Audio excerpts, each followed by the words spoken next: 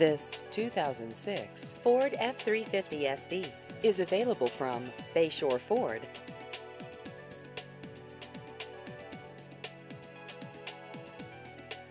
This vehicle has just over 82,000 miles.